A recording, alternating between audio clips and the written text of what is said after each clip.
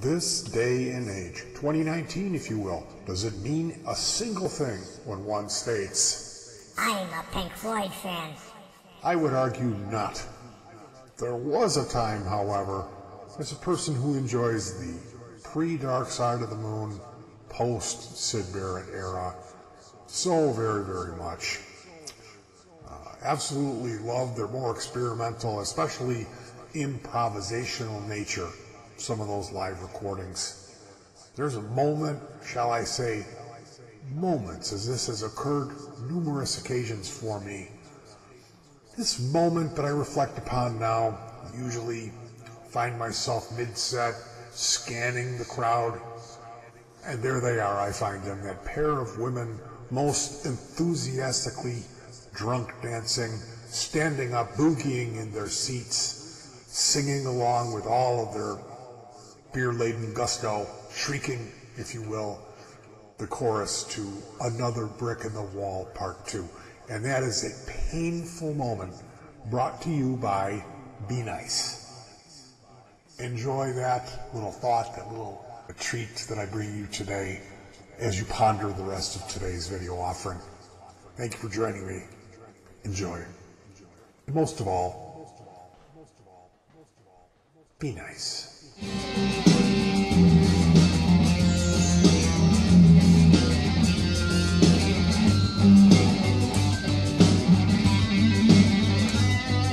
Hey YouTube, woke up this morning, uh, kind of a bad day for me. I had a three day gout attack. I'm in the middle of that.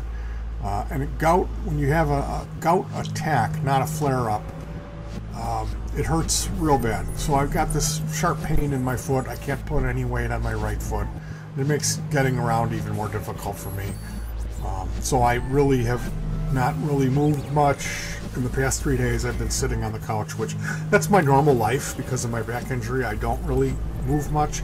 I do get out once a week. I do some shopping with my wife. We'll hit a grocery store or maybe a resale store. And then, of course, between four and six times a year, I do go and make music in a remote location. I play guitar, and uh, we do that outdoors. And then typically it'll be uh, anywhere between three to five days where I have to recline because of the fallout pain from me sitting on a stool playing guitar. And there's that extra energy of walking around that one day when we get out. So yeah, I am. I'm stuck here on this couch, and one of the ways that I deal with that is by making YouTube videos. So I don't necessarily make real short, get to the point type of videos. I speak a lot. And this person, uh, Mary Sunshine, left a comment today on my was a video called Cary Grant Force Fed Me LSD and it nearly killed me. So I'll read you the comment. You are right, but you over explain things. It's like details over details, under detail, crocheted into an infinity sign of details. She didn't park the car straight. All this because you read an article, picked it apart from the lesson in what it means to be an alcoholic to this is what it means when she's overly affectionate to the dog.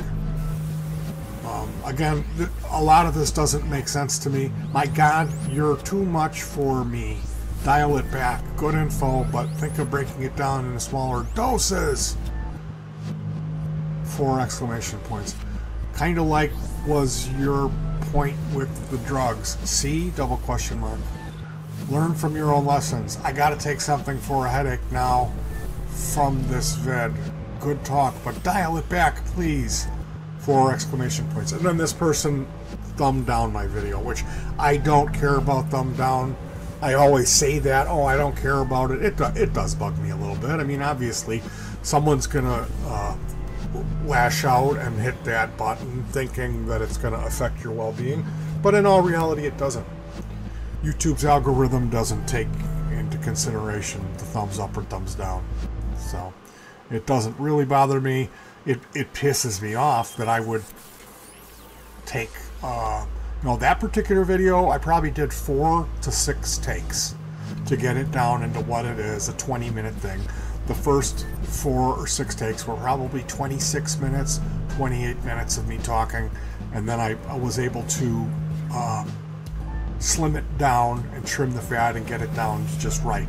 So we're talking a whole afternoon to make that video, and then whatever it took me to edit it together, Um, that particular video, there isn't a real lot of editing. Now, one of the things that I do, and what I, I just wanted to show you guys, I'm always talking about comment section negativity, and th- th- so I want to show you the process of when there is a negative comment of how that all goes down on my end.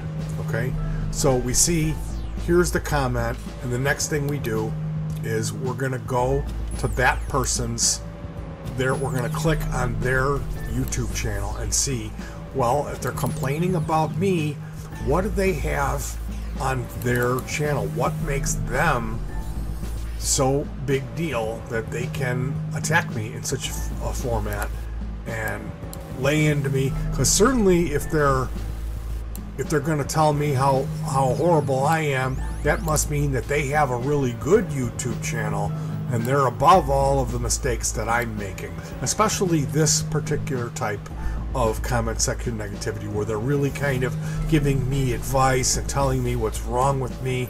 So let's take a look over at this Mary Sunshine. Okay, what do we got?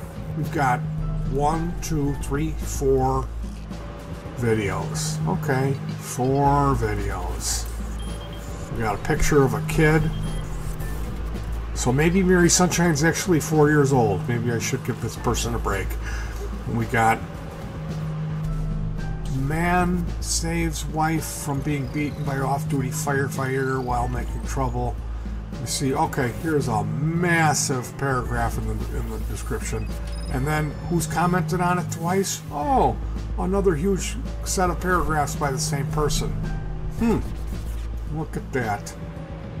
Maybe I'm dealing with someone who needs to take a bit of their own advice. Oh, and here's the same video, posted twice.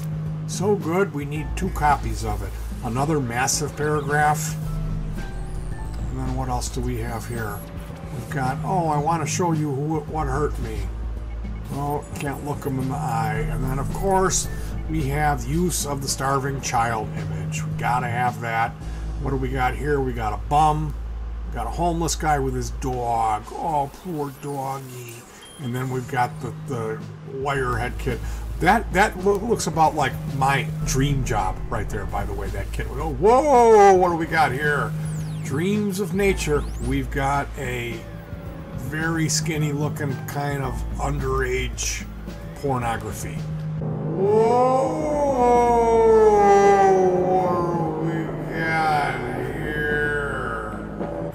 So yeah, that's what we got. It's okay to. Uh, that's what we need. Uh, we. I need to dial it back because to make room for those four exceptional videos. And this is what I'm talking about every time that I end up with some uh, some joker in here laying into me, yelling, and kicking and screaming about something in my video. I will go to their channel, and that's what I see.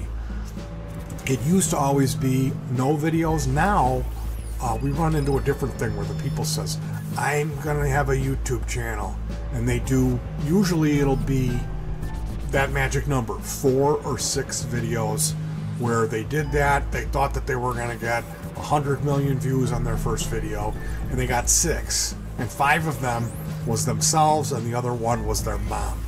So I'm going to say it again. Let's be nice in the comment section. Let's leave the heavy lifting to the pros. Uh, and by that, I don't mean myself because I'm a hack.